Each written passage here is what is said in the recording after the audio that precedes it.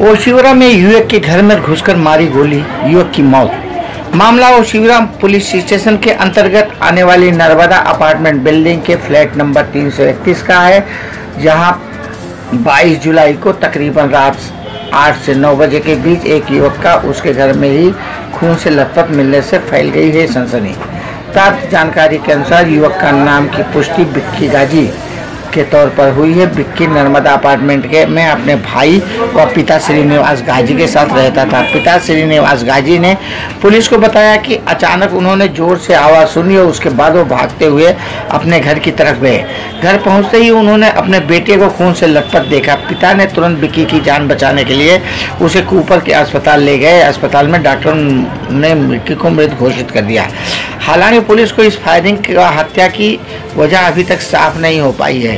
Police उपायुक्त परिमंडल नौ के गणेश शिंदे के अनुसार ओशिवरा पुलिस हत्या का मामला दर्ज कर जाँच में जुटी है। जल्दी आरोपी को गिरफ्त पकड़ लिया जाएगा। श्रीनिवास गांधी करके 33 साल की उम्र का लड़का अपने पिताजी के साथ, जिनका नाम श्रीनिवास गांधी है, उनके साथ यहाँ Godavari building Narmada building complex में रहता है। फ़र्स्ट फ्लोर पे, फ्लैट नंबर थ्री उसमें रहता था। और आज, करीब करीब 22 तारीख को रात को साढ़े आठ, पौने नौ बजे उसके पिताजी ने कट करके आवाज़ सुनी तो फिर बाद में उन्होंने 10-15 मिनट बाद ऊपर जाके देखा, अपने ही घर में उनका बेटा जख्मी पड़ा हुआ था, उसके चेस्ट पे एक वुंड था, बाकी और कोई वुंड नहीं था।